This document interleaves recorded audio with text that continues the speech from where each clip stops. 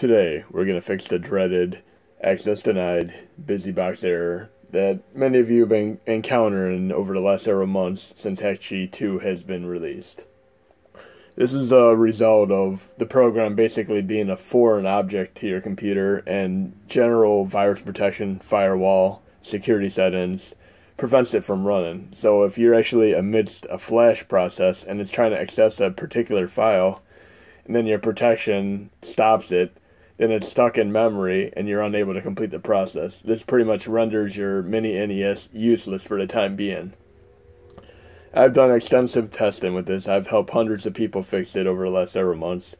I streamlined the process to try to make it as easy as I can for you guys to fix on your own. I'm going to show you how to do this. So right now I have an archive on my desktop and I'm actually going to cut it to my C drive, the root, because that's where you should basically run programs from anyway.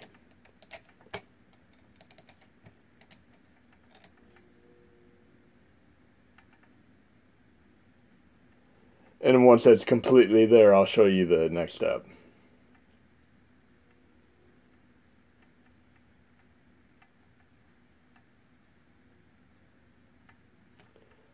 Okay, you're going to right click on it you're going to notice the read only attribute. Now, this is where things get a little bit tricky because on my computer it's fine, but the moment it moves to your computer, your Windows, virus protection, firewall, etc., will not like some of these perimeters that were within this archive. So you're going to want to uncheck this, click apply, let it apply to this folder, subfolders, and files, click OK. Then you see all the attributes applying to the files.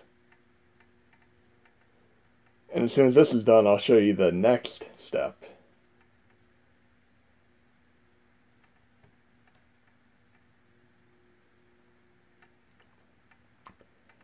I've done about 50 computers for people over the last few days alone, but I'd say I did several hundred over the last few months of this problem in general there's digital signatures that pretty much come with programs like Microsoft, Adobe, etc.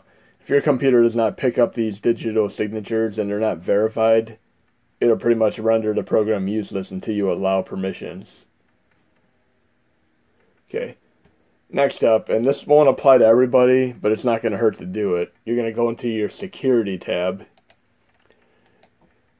and you're going to click edit and you're going to allow full control for each of the tab listings here. So authenticated users, system, administrator, user, apply. And it's going to set the security information. Like I said, this will not apply to everybody, but it'll solve a lot of problems for some.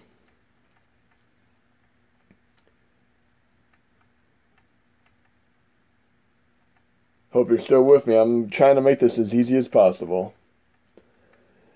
And I've tested this on pretty much every operating system from Vista to Windows 10. XP does not really have this problem because security is pretty much non existent on XP. And Hakchi 2 is actually designed specifically for XP to begin with. Now that that's done, you're going to click OK.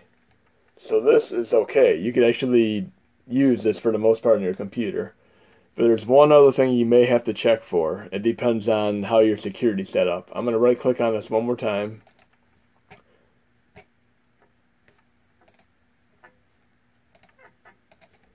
You're going to go into the folder, sorry. You're going to go to Hakchi executable itself, right click on it. You're going to look for this security, this file came from another computer and might be blocked to help protect this computer. You're going to unblock it. Now, this is one of the things that'll actually trigger your virus protection, such as Norton, Windows Defender, McAfee, and all that. But of course, uh, if you have virus protection, you also have to allow permission to the executable. So don't forget to do that if you do not allow permission for the executable within your virus protection, you have a chance of a dependency, a file that's within the Hakchi directory to be deleted. And you'll just have to replace it if that happens. So now that I allowed permissions, this directory is entirely okay to use. Now we have to get rid of the access denied busybox error once I did all this. I'm going to go back in here. In your main Hakchi directory, you're going to look for a temp folder. And if you have any other Hakchi archives or folders that you've used, you want to delete the temp folder as well. Now that's gone. Next thing you're going to do is go down to your start search menu. You type in percentage temp percentage. And this will pull up your temp files. It's a hidden folder that you will not be able to access otherwise unless you do uh, another trick, which I'll show you next. You're going to go into this temp folder. You're going to just delete everything. And if you have a lot of files in there, you can just use your left shift, go all the way down, and select all of them. I'm going to delete them. And anything that's actually open here, you can just skip. Now that those are all gone, that clears your access denied error. It's gone. So I'm going to close this all out, clear my recycle bin.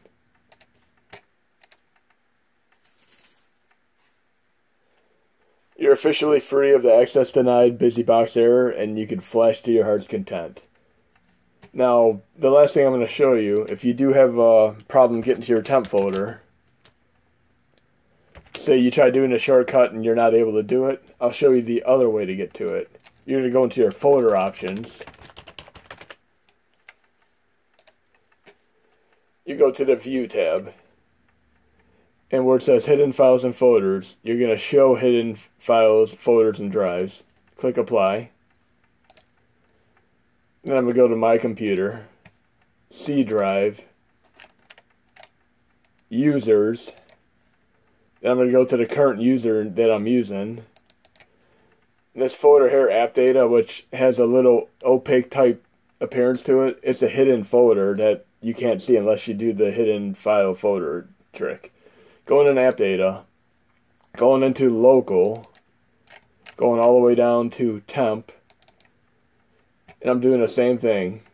I already deleted these files, but I'm going to do it again. Skip again. Now I'm going to show you something real quick and then the video's done.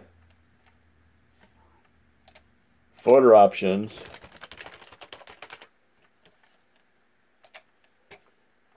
View. Don't show hidden file folders or drives.